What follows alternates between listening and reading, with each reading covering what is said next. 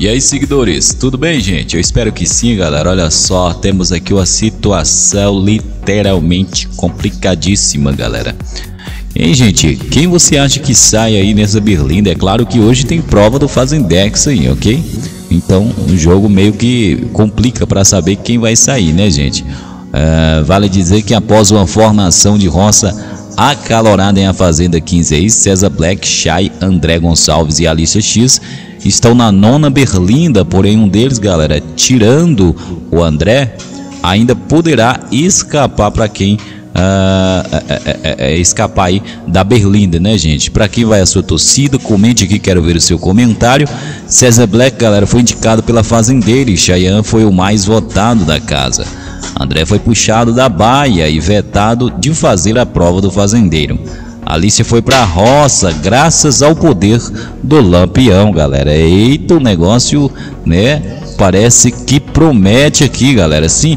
Agora, veja bem, pessoal, se fosse aqui já uma roça definida, vamos ver aqui. Ó, César Black com 51.93%, Cheyenne com 35,85% e Alicia X com 12,22%, galera. Ah, esses três irão disputar aqui, galera, a prova do fazendeiro, ok?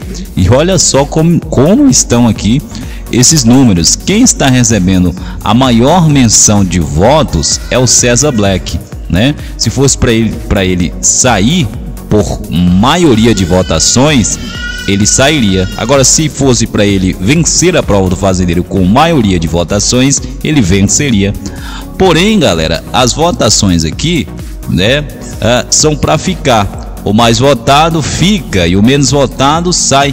Então veja bem, se fosse aqui já um, uma roça formada, a Cis estaria sendo a menos votada no confinamento, deixando o confinamento com 12,22%.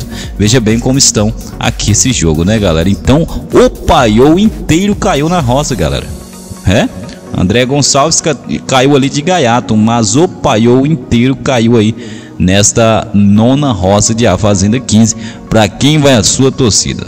Eu sei que o público, galera, meio que está esperando aí o, o, o César Black cair diretamente nesta roça para que ele possa sair com alto índice de rejeição, que eu acho improvável, porque ele caiu logo com esse trio aí, né, galera? Então, Alice X é claro que pode deixar esse confinamento aí por conta da sua popularidade no jogo.